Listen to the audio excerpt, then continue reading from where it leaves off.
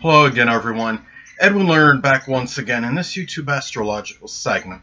I'm going to be talking about uh, astrology and the death of Dr. Lorna Breen. Uh, some of you may have heard of her. She had died on a Sunday. She had committed suicide. She's a prominent top emergency room doctor in Manhattan, uh, New York, and she didn't die of coronavirus, but she died indirectly from it, my understanding is it had may have had very well, I believe it had something indirectly to do with it anyway, very likely at the very least uh, connected with not being able to help the people that had uh, the coronavirus at the hospital she worked at more and be able to treat them and perhaps save the, these people, find an actual cure for her. And I looked up her a birth date is on uh, mylife.com. I have October 9th, 1970, New York, New York. It puts her sun, of course, in Libra. Her moon is either uh, would be Capricorn or would be Aquarius, depending on birth time. But I use, I improvise, of course. I don't have the time of birth, of course. I had to improvise again and did a solar slash sunrise chart for her.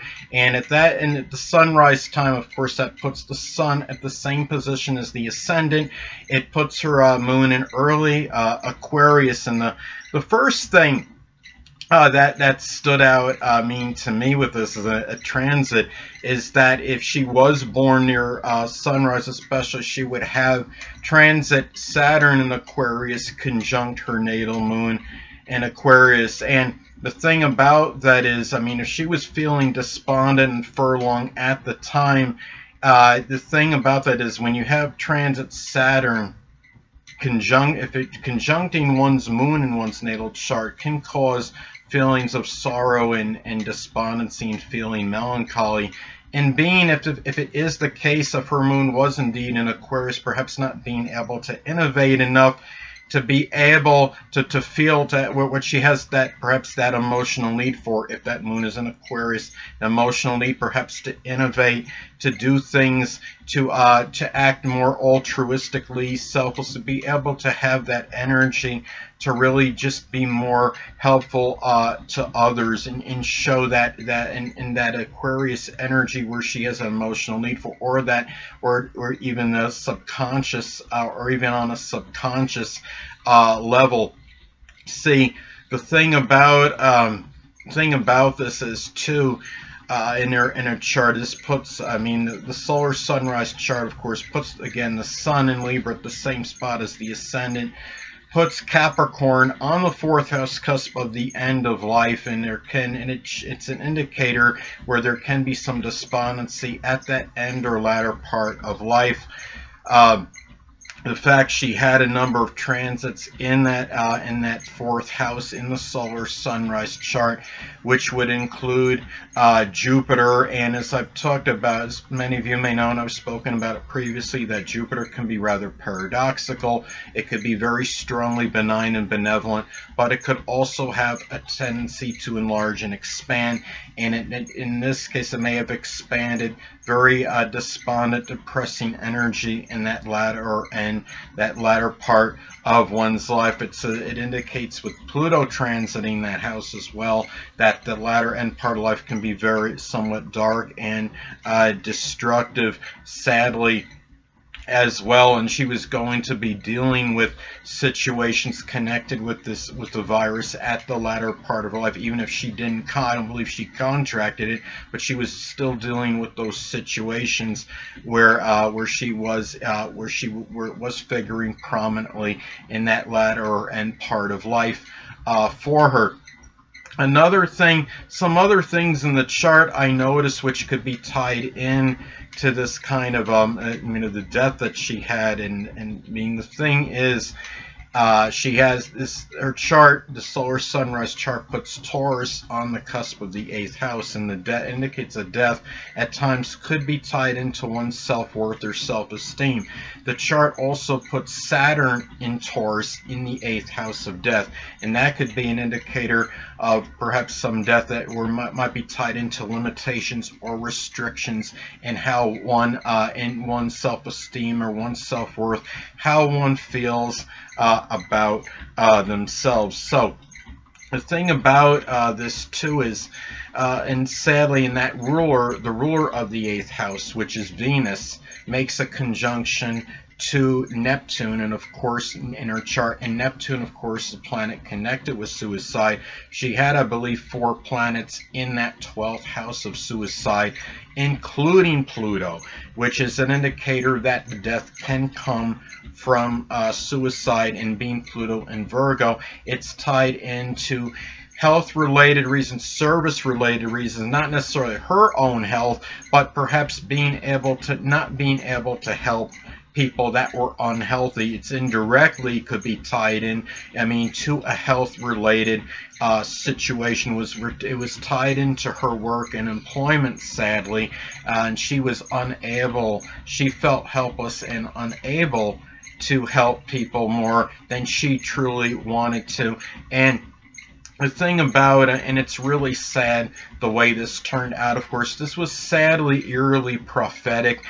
I hate to say it, but I was actually thinking about this recently about in terms of people um, dealing with the, the, coronavirus, I was thinking more on a personal level, like if people were actually contracted it or trying to deal with it, would they be killing themselves to, to avoid actually dying from it? Or, but at the same time, uh, I may have also been thinking about the fact that there's other reasons uh, that are connected with the coronavirus, which might compel somebody to commit suicide, which in, in terms of feeling despondent, feeling melancholy, having your life restricted in general, having all these restrictions and stipulations put on uh, people, just general fear and apprehension. Are we going to run out of food? Are we going to run out of resources? Those things that are putting people in a state of trepidation, were those things going to be tied in to people maybe killing themselves? Are we going to have a proliferation of suicides and they're going to become more, more prevalent? Now, these are some things that have to be taken very seriously. And you have somebody in a medical profession killing themselves, indirectly tied in with the coronavirus. People, this is very serious now. The people that want to laugh, they want to say, that make like it's frivolous or it's something they can scoff at. Well, they need to stop laughing. This has become very serious right now. You have, I think, the U.S. is closing on a million cases of this right now. And even though the fatality rate may, might be rather minimal in the U.S., it might be around 4% it's still it, the, the death total is going to hit i believe 50,000 at least in the united states and it's nothing where people can really look at and say this is something minuscule or minute uh, another thing is in that in that solar sunrise chart for her. She has the ruler of the 12th house in the 12th house, which could be an indicator of an ending through uh, through suicide. Uh, I read in some report on Twitter or some have you on, on, an, um, on a link, I believe, connected with Twitter. Uh, it was something where she died, of course, self-inflicted wounds. Sadly enough, she has Chiron in Aries retrograde. When you have Chiron and or Mars retrograde in a chart, there is a greater propensity, I would think, for more self-inflicted wounds. You're talking about um, Chiron in astrology can be tied in to emotional suffering, but it could also be physical as well. She did this, her chart put solar sunrise chart put Chiron in Aries in the sixth house, and maybe I mean, being in Aries, maybe there was some facial wounds in in this uh, to the wounds to the skull. Um, but I guess as the reports come out, we'll find out more information, more specifically uh, regarding this. And I noticed too in her chart, she also had Neptune uh, at 29 degrees at the full culmination at a critical degree. And again, Neptune is a sign of suicide. She had it in Scorpio, of course, the sign associated uh, with death. And sadly, if I'm not mistaken, it was in that second house in her solar sunrise. Uh, it was in her second house in her solar sunrise chart of self-worth and self-esteem. So sadly, we can do the math uh, on that. And the fact she had Venus in uh, Venus in Scorpio making a conjunction to Neptune in Scorpio. It, it, tells me, okay, Venus in Scorpio by itself may find work, or may find, I, I should say, income generated, which could all, could obviously tie into one's work uh, very frequently, doing something related with crisis emergency uh, situations. And the fact that Neptune is conjunct Venus could add more compassion, idealism to it. And it's no surprise she was dealing with people that were dealing with a, um, a disease um, at this time. So, though, and also too, she had transit Uranus closing in on her eighth house cusp in her natal chart. When you have transit Uranus at or in in the eighth house or near the eighth house cusp, that's an indicator that of an of a rather unexpected, sadly in many cases, an on time, very unexpected, unpredictable, very shocking um, kind of kind of death, uh, sadly. And the thing too is is that she also had Mars in the um, in the uh, 12th house as well of endings in the house of suicide. So I'm wondering if there's going to be any injuries that might be by her, her spleen or something where near the Virgo, you know, like a Virgo body part. Although I think that would be there'd be greater propensity for that if Mars was retrograde, but it could indicate a violent or volatile ending when you have Mars uh, in the 12th. And again, this is a solar sunrise chart.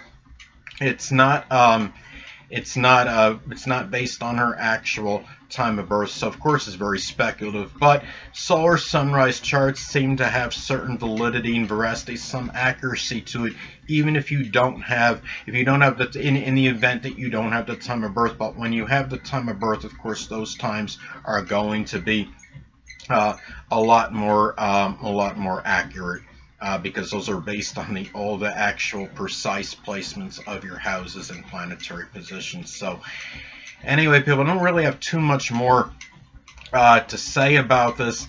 Again, I want to go back, uh, well, going back to her, uh, well, also having the zodiac sign Cancer on her 10th house cusp, that could be the indicator right right there of having a public image and reputation of being somebody empathetic and nurturing and caring.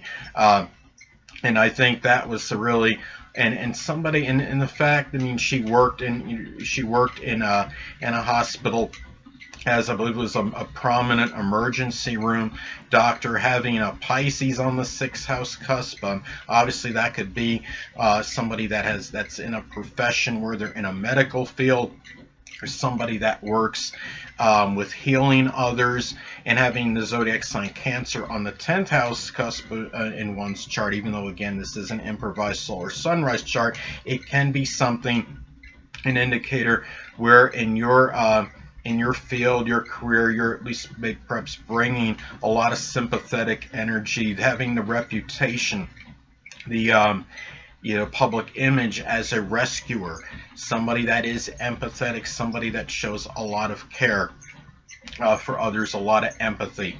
So anyway, people. Oh, I want to say one more thing. I'm sorry. Uh, by any anybody, if anybody sees this, that's a prominent family member or a friend of the family of, of this person or a friend of uh, Dr. Lorna uh, Breen, uh, please um, give the family, um, if you're, you're give, give the family, I'm, I'm offering my condolences and, and offer them to the family and just spread the word to the family members and close friends. If you're, if you happen to be a friend of a friend of a, of a um, you know, of the family member, what have you. So anyway, people, that'll conclude this YouTube astrological segment. Until next time, people, Edwin Learnard saying stay well.